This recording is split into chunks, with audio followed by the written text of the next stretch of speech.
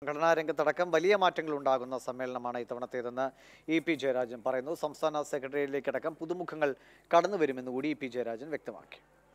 തീർച്ചയായും തീർച്ചയായും. ഇപ്പം തന്നെ പുതു പുതുമുഖങ്ങൾ വരുന്നുണ്ടല്ലോ. തലമുറ മാറ്റമല്ല.